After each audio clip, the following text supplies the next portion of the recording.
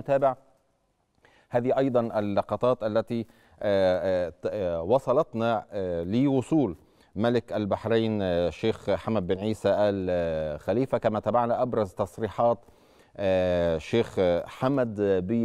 بن عيسى الخليفة ملك دولة البحرين المنددة بالانتهاكات الإسرائيلية المنددة بالعنف الإسرائيلي ضد المدنيين ضد الأطفال ضد المستشفيات ضد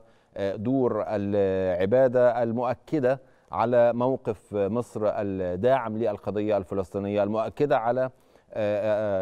موقف مصر بعدم إغلاق القضية الفلسطينية أو عدم تهجير المواطنين الفلسطينيين إلى أي مكان سواء الأردن أو إلى إلى شبه جزيرة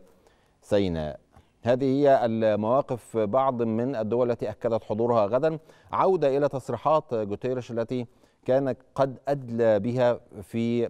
شمال سيناء تحديدا في من أمام معبر رفح. ذاكرا أن إزاء هذه الكارثة الإنسانية كان يطالب بالتدخل الفوري والسماح بالمساعدات الإنسانية للوصول إلى الداخل الفلسطيني للوصول إلى قطاع غزة.